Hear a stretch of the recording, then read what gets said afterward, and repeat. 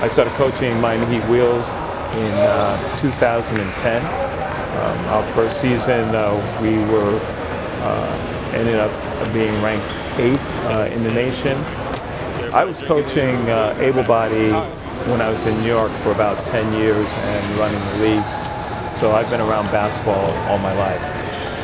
It is also inspiring to see athletes that just never ever give up. You might fall and tumble a few times. You might sweat. You know, you're gonna sweat. But it's about getting back up and just fighting and, and, and just competing at a high level. You know, you don't want nobody to take your cookie or take your meal. You know, so you gotta just make sure you put in work for nobody to take that position from you. And you know, so just this competition is my favorite thing about sports. Just competing with people. Just competing day in and day out. Competing at a high level. I got started with the team because I play uh, wheelchair tennis. And one of my friends told me, hey, why don't you try basketball? It's fun. And I said, hey, why not?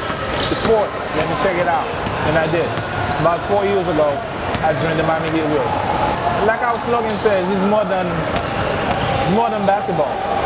Because when I'm doing this, you feel like, first of all, it's like a super group. You're meeting with people that have the same issues, same problems, same disability with you, and then you communicate with them the best of it, you can see other people doing things that you know you think you could not do yourself.